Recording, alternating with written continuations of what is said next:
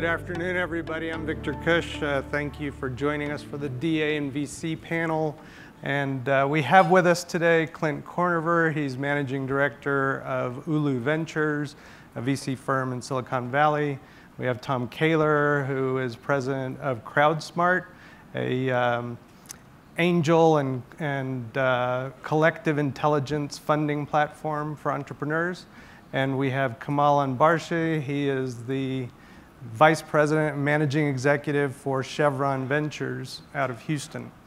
And um, so you've all got their bios, so I'm not going to introduce the, all their qualifications. They're all PhDs and all that stuff, right? So, um, but what I want to ask them is what is it that got you into venture capital to begin with? What, what is it that interested you in getting into uh, funding entrepreneurial ventures? Start with Clint. All right, well, so I've been interested in venture capital. I know, sometime in college I read about these venture capitalists. I was like, well, that sounds like the coolest job I can imagine. It's like, you know, you get these like parade of people coming through talking about how they're planning to change the world with cool new technology. And matter of fact, that was what brought me out to Silicon Valley to begin with. It's like I just wanted to be like, there's just so much exciting stuff there that I wanted to be around it. And it took me 15 years to break into venture capital. So it was always kind of out there, but it's a bit of a hard field to get into. So, but, uh, but yeah, the interest was like way back when. So um, I'm actually uh, an entrepreneur. Uh, I've done it many times over. So I was CEO of the first AI company to go public, but I've done a lot of money raising. And money raising is not easy. Um, and, uh, and a couple of times I was successful. So my first two companies went public. So I got recruited to be you know, part of a venture capital team a couple of times. And I always liked building teams. And then I, but eventually, as I went through my career, I thought, I want to make it possible for I had to move pretty much to Silicon Valley. I grew up in Pennsylvania. I moved to Silicon Valley to be part of a startup. Uh, spun out of Stanford University, which is where it all started. And I went out in 1982, and I've been loving it ever since. But what got me into the venture side, and actually we decided to do it more like how can we make a system that helps any investor anyone that would like to be an angel investor or you know, accredited investor, family office, whatever, have a system whereby they can get the best due diligence on startups using the best of uh, uh, collective intelligence, artificial intelligence to create a predictive platform for startups. Think of like a Moody's for, or credit score for startups. So you could go in and say, hey, that's a 95 I want to put some money into that one. And so that was the vision for CrowdSmart in the company. So it really was not, it's not kind of the same as uh, me being a professional, I'm a technology guy, created a platform that makes it possible for uh, investors to look at startups and decide which are the good ones that are going to produce a profitable return on investment. So we've been doing this now for the last three, four years and got a couple, uh, 25 companies and seems to be working pretty accurately. So I, I, came at it a different way, is really through technologies. I have a passion that any smart individual that has a great idea uh, that's fundable and will produce a great company, whether they are on the Gaza Strip or in Palo Alto, uh, can have access to capital. So that's kind of the vision that drove me into this. So um, if you if you haven't decided what you want to be when you grow up, I think venture capital is the right place to be. You get to learn continuously. You have smart people coming, pitching their ideas, and it's very challenging. And you get to learn from DNAs to fusion and drill bits. So it is, it is if you are hungry, hungry for information, that is the place to be. And, uh, and I have been with Chevron 28 years. About six years ago, opportunity came in. I liked the title, you know, so I said, well, that's, that's a good one to take it. And I also knew the person who had the job before me, and, and I knew how much fun they had. It is, um, and as Tom stated, it's a great way to nurture um, smart people and help them achieve their goals. Uh, it's very cooperative um, in an environment that we invest with um, our competitors together, that they could be competitors in other areas. It's a wonderful environment of nurturing talent and uh, making, making tomorrow a better place. So that's a wonderful place to be. Thank you, guys. So, uh, as I ask the next question, uh, I'd like to encourage all of you to think about your questions and submit them so that I can start uh, pitching them to this panel. And uh, so, the next question I have for y'all is we're all in the business of getting capital in the hands of entrepreneurs who have solutions to global challenges. A classic decision that entrepreneurs actually have is whether to seek capital to begin with. So, how would you advise entrepreneurs about whether they should seek capital and the decision analysis frame around making that decision? Well, come on, I think you, got, you, got, you got the acid test. I'll, I'll start. It, it, depends on what your objective function is, right? So if you um, want to own your business and you know bootstrap it, grow it, and if you have the means to be able to get financing at a certain level, uh, by no means, I, I don't think you need the, the venture capital. But if you are um, if you have a great idea and you want to implement it and you want the largest impact as quickly as possible, and at one point, you know, you, you want to be rich and then start your next company, I think venture capital is, is the way to go. So depending on the objective function, and you need to, you need to also understand what options they have. It's not just whether you get venture capital or not, who you get it from is very important. Um, who's your board structure? What do they bring in? Is it only money? And if it is only money you want, you really don't want to come to me. You know, the corporate one, and my, my objective is to create suppliers for Chevron, and we can provide other things. So it, it depends on the objective function, but people need to realize there's pros and cons of, of everything else, and depending on your objective function. Well, give, give them the board story. Oh, uh, all right. So uh, we were talking last night. Um, there are quite a few great companies, and this is a description of startup we discussed in the workshop yesterday. Um, and they are, you know, they would like to take your money, but the issue is they are owner-operated companies. They are not startup companies, and um, we don't want to waste their time. And I'm very direct. Some people may think sometimes maybe too direct. One question that I ask entrepreneurs coming in right off the bat, if you are raising capital, are you comfortable having a board that can fire you? Not necessarily they will, but the control needs to be on the board, not the owner operator. For me, I don't know, maybe Clint invests differently. So. So uh, the, the environment I've been living in around uh, the Bay, San Francisco Bay Area is almost every startup I see is looking to get capital. So I don't, you don't see a lot of people trying to make that decision whether or not to raise. I think that, so the environment I have been in is that. So the, the thing I would say, if they are looking to get venture capital, they get involved in an accelerator or some process where they can get some feedback of what it means. And I'd say a lot of venture capital is broken, other than Clint's company, uh, I'm joking. Because actually, they, they, too, yeah. they provide transparency. And one of the things that almost no venture capitalist does is tell a company what they need to do to actually become a venture funded company. We either say, gosh, you guys are great. We love you. Sorry, it's just not a good timing right now for us. And of course, because all VCs want to be loved by their startup, so they, they'll never say no. Uh, whereas what they need to know is some of the things here. These are some of the things you might encounter. And accelerators or venture processes, and the reason I say this about Ulu is they have a, they tell people what's going on once they get to that level. There needs to be some level of what does it mean and how does it, how do you function as, as a startup? So I, I don't encounter a lot that, uh, aren't looking for capital, but I would say what a lot of them are looking for is intelligence as to how to get funded and build their businesses. Yeah, so I guess I'd put out there that seeking venture capital is a little bit of a dangerous thing in the sense that there's venture capitalists are looking for one thing, which is outlier successes. And if you've got a business you're building that can be a nice cash flowing business, I mean, generate a real healthy quality of life, that is not a possibility if you get venture funding. So it's basically all or nothing with venture funding. So if the, you think about the odds here, and I'm going to make some numbers up, but they'll be directionally correct. If for you as the founder of a company, if you get venture funding, there's an 80% chance you walk away with zero. Nothing. By the way, it's not quite so bad for me. I might get my money back in an acquisition, but I get my money back before you get anything. So 80% chance it's a zero.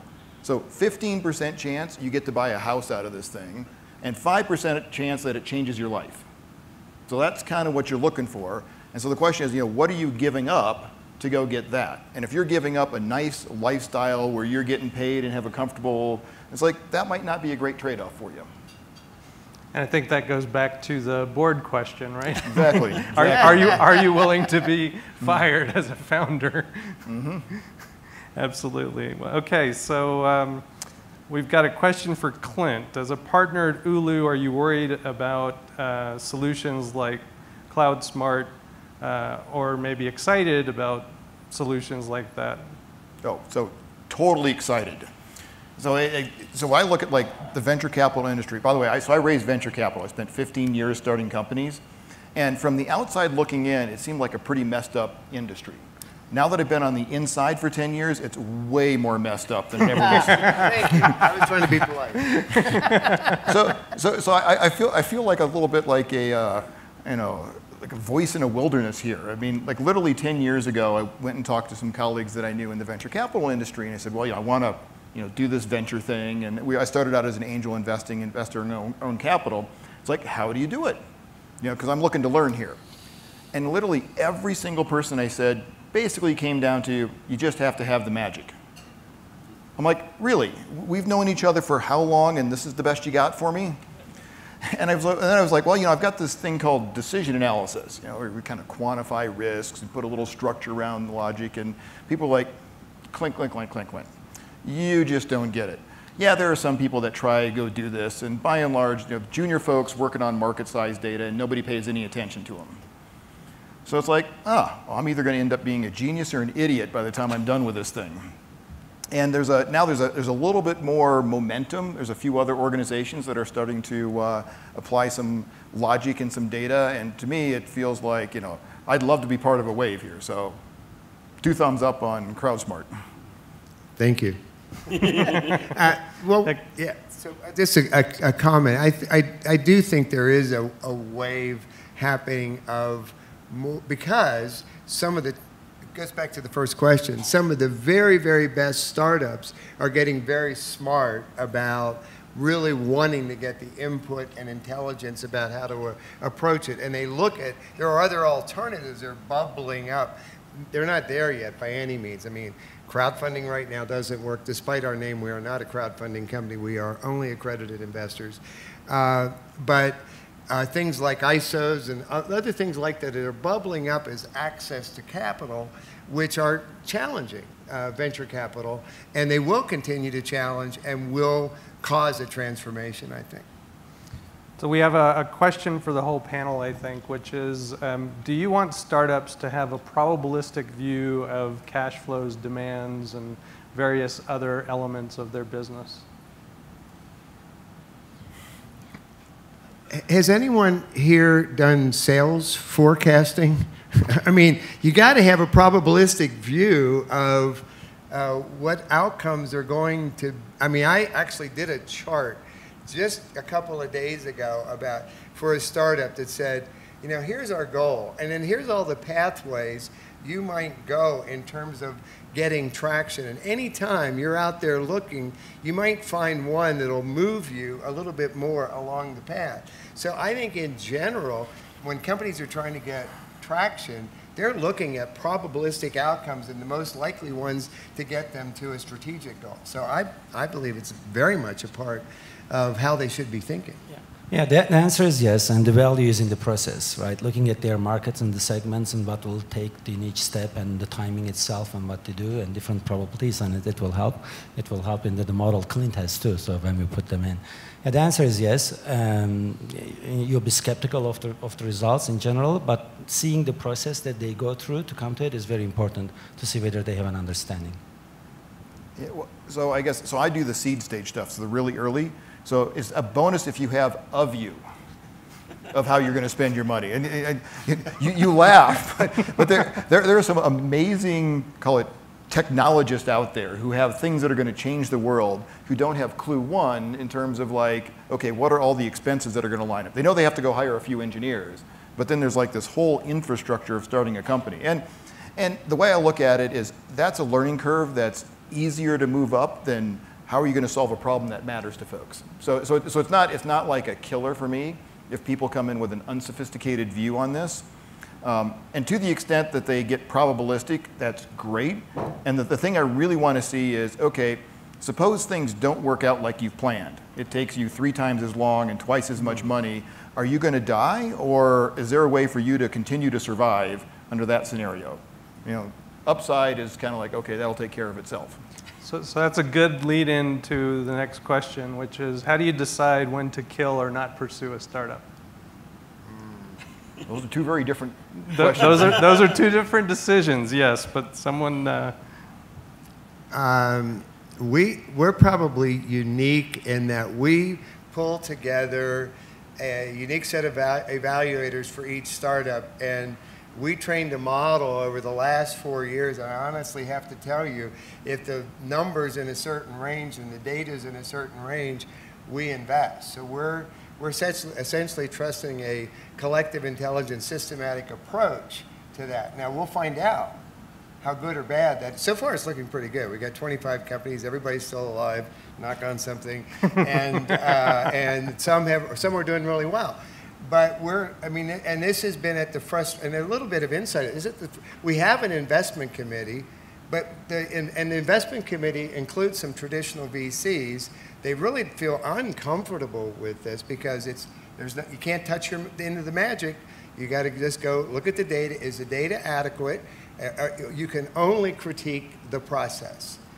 And I've had investment committee members pounding the table saying, I hate this deal, but we're going to go with it because the system said so. So watch this space. We'll see how this experiment goes, but we do not make that decision. We put a decision process in place that we trust. How about you, Kamal? When, when are you going to stop killing companies? yeah, we never do. Um, so the first part of the answer is that I think that the, the entrepreneur should decide to kill the company when the opportunity cost of doing something else is, is becomes too much, right? So you have something, you're trying something else better that you can do, and you need to pivot and change. Uh, but as a corporation, we never kill startups, right? So the, the, the way that the boards usually work on the tail end, people kind of give up.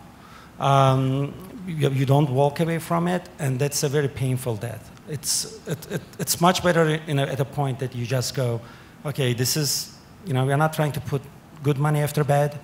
Uh, it actually hurts the entrepreneur, it hurts the company trying to push it forward. It is time to pivot. And that happens quite often, actually, in the sense that you get a clean close, right? So you just pay the bills, everybody's happy, close the door, move on. And that happens more than probably people think it does. Um, but it doesn't happen quickly enough. There's always a partner that would like to take it further.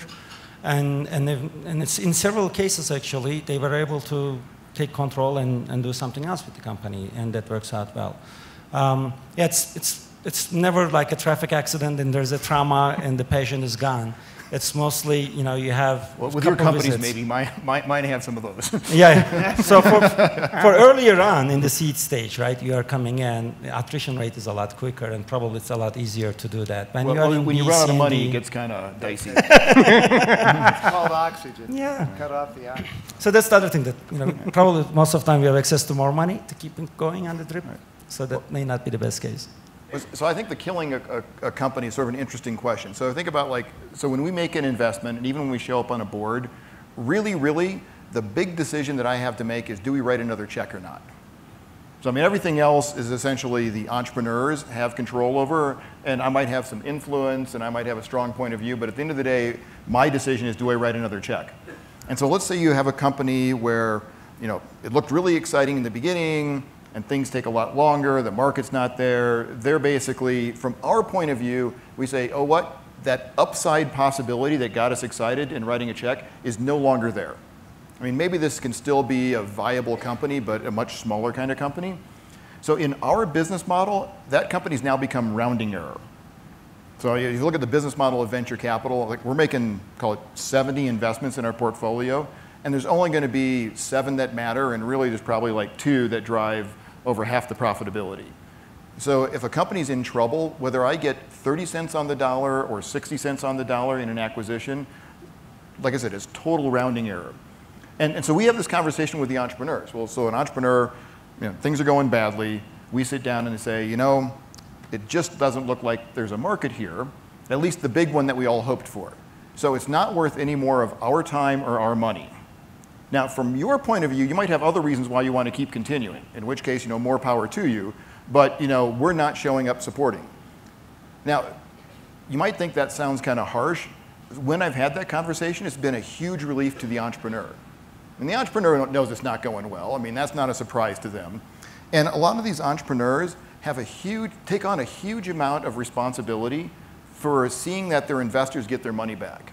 I mean, I find it really gratifying actually that they care so much about, they brought these folks to the table, brought me to the table, and they really care about Ulu getting their money back. And when I say, hey, look, there's this thing called good decisions, decisions and outcomes. All right, so I would call investing in you a good decision. It's been a bad outcome. We're big boys and girls. We can handle the loss. And if it's, you know, and so you have done right by us in taking a great shot at it. So if you walk away now, because by the way, I mean, there's a reason we invested in you. You're a talented individual, you've got lots of opportunities. And so, you, so if you want to walk away now, it's totally fine with us. And like I said, if you want to continue for you know, another couple of years and see if you can get a, a acquisition out of it, that's cool too. So just to add, and, and if they start a new company, next one, yeah, please come talk. Again. Yeah, please exactly. come talk to me. Exactly. So I mean, my companies have more survival rates, about 60%, and it's for the statistics is pretty good because we are coming in late and there's a product and such most of the time. Um, but we also have the metrics in it. So I don't like doing internal runs without external money coming in, and if after a few runs you are not getting external money, I'm not going to write more money. So those are the kind of things we, we say it upfront to the entrepreneurs so they know. That's the case that, that so you know, we are not going to keep on giving you money if you cannot get external money go forward. Mm-hmm. So that makes it clear in a way, it makes it easier. And it's, it's always personal. When you are dealing with the startups, you know, that's wonderful that it's nurturing, you are there, but everything is very personal. So you need to be very upfront, very clear, and decision analysis helps. So you just show them, you know, the start, and you say, this is where we are. Um, unless certain things change in the parameters here, this is the outcome. Well, so, somebody really liked your first set of answers about why you got into the industry because they're starting a VC fund, and so, so they'd like to know uh, what common mistakes can you avoid before they get started? Starting a VC fund? I, I would ask the first question, why? I mean, because it's not easy. I mean, I, I mean, I think there. Uh, and if they and do they do you have a track record of managing money? Uh, because these are all things that because it's a bootstrapping process. I mean, I, I know uh, particularly if you don't. I mean, because I'm uh, one of the people here is in terms of going out and raising money that didn't have a money management background. In fact, they had a PhD in applied physics. So, you know, what is, uh, so the thing you have to do is you take a little bit and you show you can manage a little bit. Then you take a little bit more and show you can manage that. Unless you have, if you have a track record where you can show past performance, that helps. But I think one of the things I consider is going in is talk to a lot of people who built funds uh, and find out what do you really need to be able to do to do that. I mean, I, I, I don't, it's not as easy as it might look. Well, I, I guess I just, I just say a couple of things out there about the economics of venture. And uh, by the way, so there, there's some venture capitalists that make money hand over fist, they're billionaires, all that kind of stuff, right? So you, you read about them in Fortune and Forbes and whatnot. Let's just say there's a lot fewer of them than folks on Wall Street. So if you want to go make money, hedge funds is a much easier way and higher probability way to do it than venture capital. And in the business schools, I'm, I'm, a PhD in engineering too, but I know folks in business schools. And they talk about if you want to make money, you go to Wall Street. If you want to have fun, you go do venture capital. and, and, and actually, if you look at most venture capitalists, there's this thing called, so venture capitalists make money two ways. There's fees and there's carry. So, so 2 and 20 is a standard business model. So let's, let's pick, a, pick a, let's say you're a $100 million fund you get 2% fees every year on that fund. So you've got $2 million to essentially support everything you're doing. By the way, this is all the lawyers, this is the employees, this is your office space, this is traveling to conferences, right? I mean, so, so at $100 million, actually 2% gets spent pretty quickly. And then, the, so really what you're betting on is that 20% what they call carry. So carry is essentially of the profit you make. So the first 100 million goes back to your investors. And then anything above 100 million, you get 20% of that. Sounds good. Except when you're in the seed stage, it takes about 10 years from first investment to when you actually get exited on this stuff. Oh, by the way, you're starting to invest for four years. And so in your fund, your last investment in the fund calls it four years after you've raised. That's got a 10 year life. So you're 14 years from the very beginning until your last companies start to pay out. And oh, by the way, all the money you make is in those last companies because the first companies that pay out are all going back to your investors. So you're basically, you know, realistically speaking, well, realistically speaking, most folks in venture have never gotten a carry check. but if you're going to get a carry check, it's like, you know, 10, 15 years out. so, uh, Clint, you also said something yesterday. Um, when you start a venture fund, you know, your deal flow, why will be people coming to you versus going to the smart money? So mm -hmm. you also need to establish that if you are starting a venture fund, that, that you will get the good deals and why are they coming to you and not going to the top 20% venture? So you need to be very clear where you will get the deal flow and why the, those great deals are coming to you and not going to people who have been doing it for 15, 20 years and have a track record. Thank you, guys. Um, so Tom, a question to you about how does uh, CrowdSmart work in terms of uh, funding early stage companies. So how, how is that decision made? Um, so the, I'll very quickly try to uh, describe the process. So let's say you're a startup that wants to be funded. We typically source out of the best accelerators. So, or we work with a you know, venture partner like uh, an early stage venture company like an Ulu or someone else. So that's the very first thing is we are not first money in. So just start with that. Uh, typically, what we then, what happens is you go through a process as a startup where there's a deal room and you'll have built around you a kind of dynamic investment committee for your company, which to the startups that benefit are people who typically will have expertise in your industry and they'll have some investment experience in your industry. And you go through a process where they, we collect a lot of data. I won't go into the details on that, but we assess things like market, product, uh, team, network associated with the group of people pulling this company together, and then the deal terms, all of that. All of that data is collected, heavy amount of natural language analysis, runs to a model, and at the end of about three weeks, we can predict a score.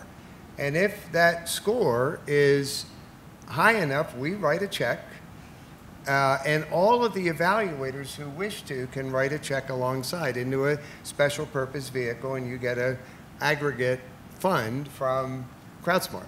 So it is a very much a database thing, and as a founder, you get to participate in looking at the diligence, responding to all the issues, and so it's very transparent. And so that's, that's basically how the process works. And then once that's in, we also we will, uh, in some cases, go uh, do follow-on rounds as well. So we will, you know, invest in the follow-on Series A or whatever. Excellent. Kamal, can you talk to us about how large corporations leverage venture capital in order to um, improve their business, consider new opportunities, change processes? Um, sure. There are different objectives for the corporations to have corporate venturing group and some has corporate venturing, looking at an M&A, looking at the new business lines that they can generate. And you know, some, like ours, our main objective is to create suppliers for Chevron and for the industry. So I'll, I'll talk to more detail on, on what we do and, uh, and, and how we do it. And it's, I think our, our part is the most fun part of it because it's very cooperative. I'm not um, trying to block somebody else to become a, a, a, customer of the company that I invest. We actually co-invest with um, al almost all of the IOCs or even the service companies. There's a company that I invested with, uh, Total, BP, Conoco, and uh, I think ENI was in it as well. So um, it, that, is, that is very common for us to do so because as big as Chevron is, we are not big enough to make the market for one of these products and we do not seek exclusivity. So we, we come in, uh, we bring money, and usually other IOCs follow Chevron's investments. We've been doing it for about 20 years now.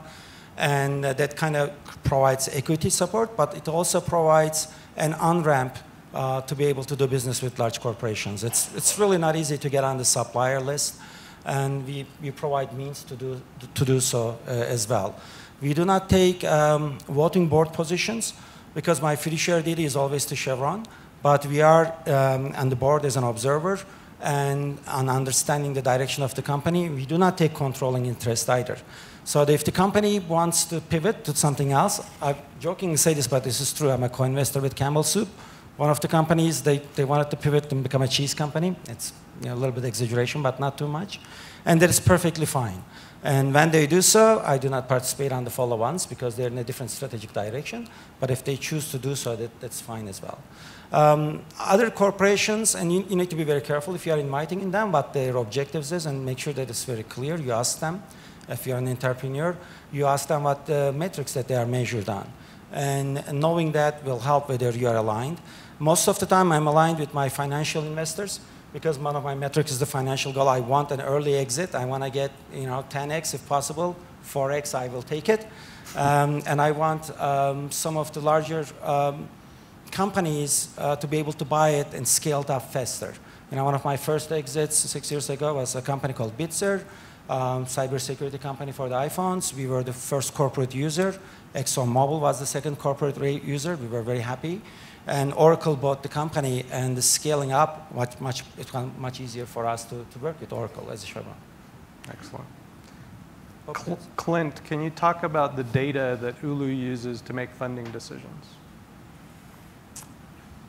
Yeah, so sometimes we talk about ourselves as being data-driven decision makers, which is actually, in, in, some ways, not true at all.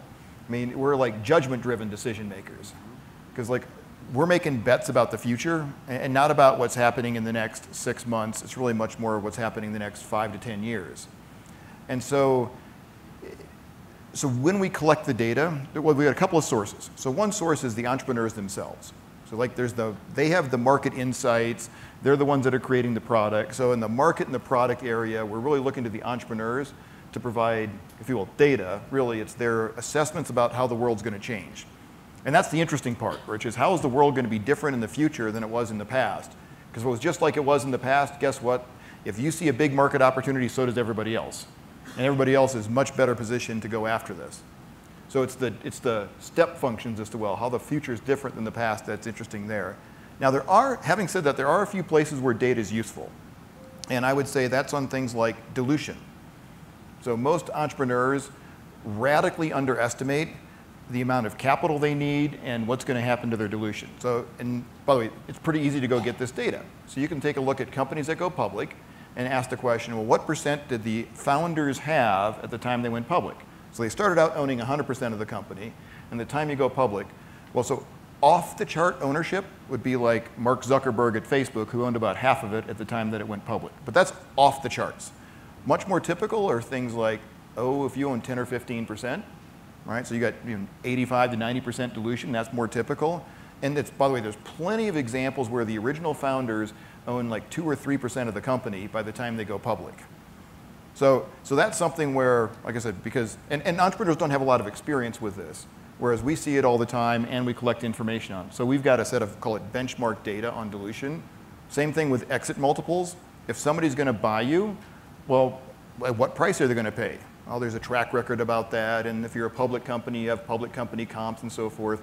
So there definitely are areas where we use data, but most of this data, okay, so maybe it took us a couple of weeks to really sort it all out, and maybe once a quarter we kind of update this stuff, but it's really low overhead kind of data. And I, I, contrast that, by the way, to folks looking at really big data sets. So there are VCs out there that are looking at what's happening on Twitter and GitHub and various kinds of social media to try to get signals in terms of, okay, which kinds of companies are taking off and which kind of companies should I focus on. So they're actually dealing with real-time big data, but that's not Ulu at all. I mean, we're, like I said, judgment. Thank you. K Kamal, um, when looking at you know, using decision analysis and venture capital, and we've talked about you know, the lack of decision analysis in, in VC decision making, um, how can a DA professional uh, look to you in terms of your interest as a consumer? All right, the answer is with Sherry there, our DA person from Chevron CTV. Um, we don't use DA enough, right? And when I was asked to come to this panel first, I said, oh my God, Victor, we, do, we don't do much. And then we talked about what we already do, maybe because of the DNA of Chevron. You know, we, we do the framing, you know, we, we look at different alternatives, probabilistic, you know, exit values, bring some of the data in, but nowhere near what uh, Clint showed us yesterday, what, what he does. And that is, uh, that is very important. And uh, so uh, we are fortunate enough within CTV having you know, two DA professionals full-time looking at the, the, value capture, value analysis, and, and, and, and helping with um, some of the game theories on the exit. And what we need to do is bring more of, of the DA on the decision-making process and maybe take some of the bias out. As, as Clint said, most of uh, the decisions are driven by judgment. We, the bias that we bring in is slightly different uh, than a venture firm. We bring the subject matter experts bias into our decisions. Now, will we be using this product? What's the problem it will solve? What's the probability that it will solve? Uh, we need to integrate somehow that bias with, with the market data in the, in the DA side of things and, and, and to work. I think that's an action item for us uh, to take it back to templates that, that we got yesterday and, and work on it. So there's long ways to go. Um, I think every single step will help to take the bias out. We talked about, you know, it's, it's very, um, it's very homogeneous group. You know, the venture capital, you know, if you think the corporate boards are, you know, homogeneous, venture capital partners are, are worse. And the investment decisions that, that, that people make are driven by that bias. Anything we can do to take that bias out will be, will be very helpful. So, that leads to another question that um, the audience had, which is, what are some of the biggest biases that you individually have in the judgment process of the decision, and how do you deal with that? Uh, I want to take a stab at that. One of the reasons we do collective intelligence is it turns out if you get enough people around the table, you can kind of average out some of the biases that people bring in. Because uh, I think that's one of the big problems, is because uh, uh, and I'll give you an example. We did not set out in our investment thesis to have any, you know, other thing than, you know, have a scoring platform. Well, guess what happened? We ended up funding about 40% of our companies are run by women. And that is different from the VC industry by about a factor of 10. Um, and, uh, and that was without intention. So that has to do with what I would view as simply a scientific process that says, of course, you're going to trend more towards a normal distribution simply because you're using a process. There's no reason that gender should have anything to do uh, with the success of a company. And we have about over half are either minority run or female run. And again, and, and, and by the way, we, we've had stories then from the women that, yeah, that this was a place for where they could get a, a, a fair shot because it was data based. And there's a lot of evidence out there that uh, bias does come into decision making. I mean, stories of I'll support your deal if you support mine. Uh, you know, I knew this person, this guy in in school, and he went to the same school, so we're going to try to help you out. We just like you, and we're going to try to help you out. So there's a lot of capital gets sprayed in the wrong places simply because of that bias. And that's not good for the investors, it's not good for the startups, it's not good for the world economy. I think knowing your biases is the first step. And I, I, I let me tell you, I don't like spinouts, right? So everybody knows I don't like spinouts. That's a bias I have. And I don't make the decision, right? We make the decision as a team and investment committee. So knowing that helps. And the fact that my venture execs know that I have the bias, and they need to come and say, look, okay, tell me, tell me why we should do this. What is different about it? Um, but a lot the biases that are most dangerous are the ones you don't even know. And, and you need you know, really good people around you to point that out to you. So you know, data helps, but you know, I think you need to look in self and say, you know, I, I also always also say, I don't like traveling, right? So if a company is too far away, I have a bias against that. So um, you, you, you, need to know those and, and, and see how it goes. So, so, so I'd say I, am a sucker for a killer business model. So if somebody comes to me with a business model, it's like, oh, that thing just sings. Boy, this is going to be beautiful if it works. And uh, I have my, my wife, who's my partner at Ulu, has a very different perspective on things. So I remember we had this one company a while back. I was like, oh my God, this one's fabulous. So she's sitting there, it's kind of like, this one's going to be a mess. If we invest, you're cleaning it up. and I'm like, oh, not a problem. So, so I'm on the board, and of course, like four months later, I get a call. There's two founders. So one founder, who's the head of engineering, basically said, you know that other founder I've got, the CEO? He's got no clue what he's doing. You need to fire him or I'm leaving and taking the engineering team with me. Okay. So ever since then, Miriam now has a veto on any people issues she sees. By the way, I actually stepped in as CEO of that company, found another CEO, and they actually had a reasonable exit. So it was so from the outside in, it looks like a happy ending. But if you look at like all the calories spent to get versus you know like only a modest exit, it's like I don't want any more of those. very good, very good. And um, you actually started in DA as a DA practitioner and moved into a different field. Do you think that's a, a really good approach for spreading DA applications uh, for DAs to move into other areas? Oh, so you've just tapped into a big area for me. So, so from day one of Ron Howard's class at Stanford, I was a total convert. I was like, oh my God, the first thing that I've seen that makes sense for my life, right? It's the analytics, it's the conversation, it's the philosophy. I mean, it just totally sung for me. So I, when I got out of Stanford, I was on a mission to democratize decision analysis. You know, by God, that was what I was all about. And I spent 15 years starting companies um, and largely breaking my sword on that vision. And I also found out I wasn't a very good entrepreneur along the way too. So, so now I've got kind of a, I sort of reframed myself. And it's like, okay, well, who out there has really changed an industry? You know, you got so Stephen Covey out there writing a book. Do I write a book? So I did. It sold a few copies. Um, all right, so I need a different way to change the industry. And, uh, and I was like, well, you know, Warren Buffett's kind of, Buffett's kind of an interesting character. You know, he's not out there proselytizing anything, but everybody's just coming to him and hanging on his every word. It's like, that sounds like a pretty cool way to go about democratizing decision analysis. So that's kind of my, my current plan, which is, all right, if I'm successful enough in the venture world, then I'm actually going to have people coming to me and saying, oh my God, Clint, how did you do it? And my response is going to be, well, it's actually not much of a mystery. Here it is, right? I mean, here's a whole tool set. Knock yourself out. And that's already happening. Right? And it's happening. Yeah, matter of fact, just two weeks ago, Uh, I sponsored, well, I sponsored a workshop it was kind of interesting. I sponsored a workshop a couple of days ago here talking about you know, decision analysis in venture capital. And I did almost the exact same thing two weeks ago for 15 VCs who came in and said they want to learn more about what, what Ulu's doing. And I shared with basically this, the same kind of framework. Here's a decision analysis framework. Here's our Excel spreadsheet template. Here's why we do the things that we do. And so there's definitely, there's, you know, there's a few folks that are starting to pay attention. So Victor, if you let me, I'll ask a question to Clint. Was it easier to teach DA to the venture capitalist, or it's easier to teach venture capital to the DA people? You know, it, it was a little bit of a head spinner for me. And so, so it's like, you know, in the venture capital world, I'm, I, I like know the argument. So I say things like percent ownership doesn't matter. And that's the equivalent of saying in the DA world, it's like decisions and outcomes, don't worry about those two things. so, so, so, I mean, it's the same kind of, but, you know, like, you know, just very different.